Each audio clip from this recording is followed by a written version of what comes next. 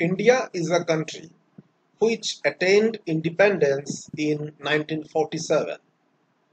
But the rural urban divide and the rich poor divide are still plaguing India.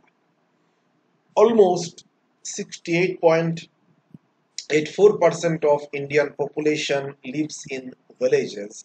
There are 6,40,867 villages in India According to 2011 census, the populations of rural women who are literate are 58.8%.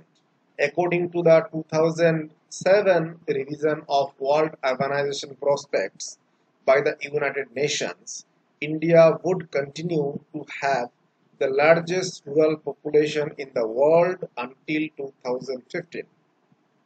There are several issues which are creating difficulties in the lives of Indians, like rising crimes against women, increasing poverty, criminal, politician, bureaucratic nexus, corruption, nepotism, lack of transparency in the official functioning, bureaucratic hassles, criminalizations of politics, etc. However, the common Indian citizen is striving to get two ends met. Life of Indian woman. India is a country of contradictions. On one hand, women are worshipped as deities without whose blessings work cannot be initiated. On the other hand, crimes against women and girls are increasing day by day in India. It is said that in many cases the perpetrators are known to the victims. The perpetrators could be among relatives, neighbors, friends, etc. This increasing mistrust can create havoc in the Indian societal pattern. The patriarchal norms are so entrenched in the Indian society that it is very difficult to pull oneself out of this conundrum. When girls are born in most Indian families, they are not welcome, at times even by their mothers. They lament that a son could have been a real asset for the family.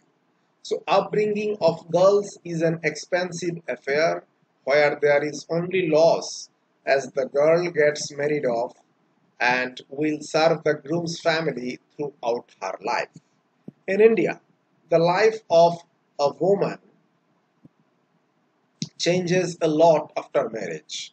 She leaves her parents' house after marriage and starts living with the groom's family.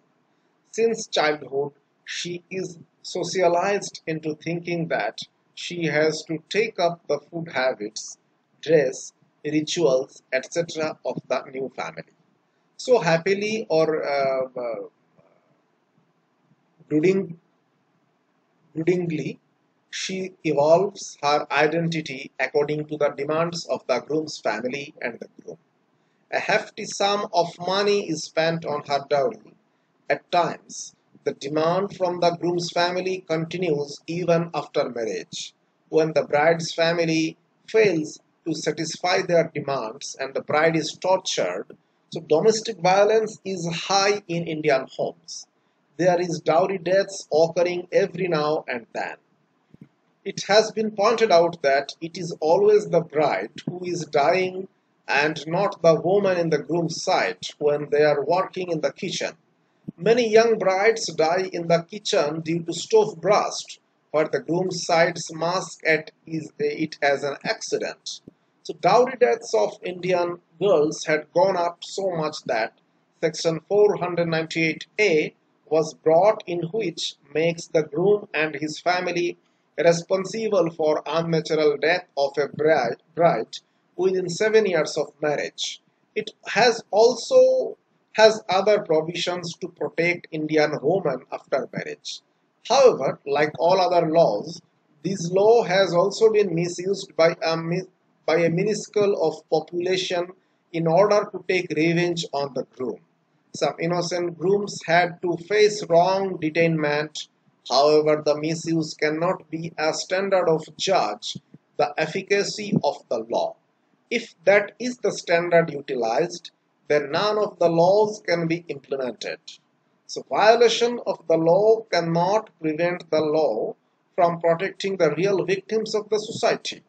Right to equal inheritance to women of Hindu, Sikh, Buddhist and Jain religions who form the majority in the country have been provided by the Indian state. But still, today there are many, uh, very few women who demand uh, property as they feel that it soured their relation with their brothers.